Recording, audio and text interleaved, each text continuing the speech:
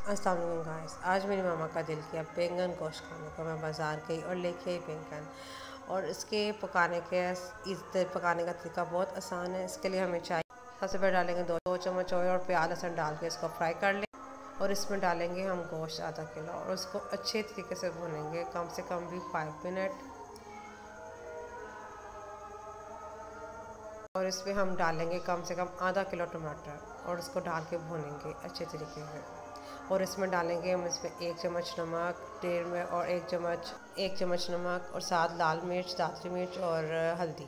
इसको डाल के अच्छे तरीके से भूनेंगे। और जब इसकी भुनाई हो जाएगी तो हम इसमें डालेंगे तीन गिलास पानी और इसको पंद्रह मिनट हम वेट जला लेंगे। और उसके बाद हम इस बनाएँगे ब्रिंजल, यानी कि बैंगन, उसको हम ब्रिक भी काट लेंगे।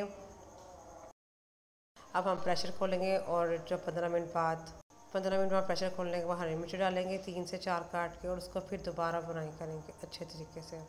और जब गोश्त पहुँच जाएगा उसके ऊपर से घी निकल आएगा, उस पर हम डाल देंगे बैंगन। तो बैंगन डाल के भुनेंगे, उसके बाद हम कम से कम दो तीन मिनट और उसके बाद उसको हम दम पे रख देंगे। और दम के बाद जब उसे हम उसके ऊपर ढक्कन रख देंगे। उसके बाद हम खोलेंगे, ढक्कन उतारेंगे तो उसके बाद थोड़ा सा उसका पानी वगैरह होश करके ऊपर धनिया से गार्निशिंग करनी है और ये तैयार और इसको एंजॉय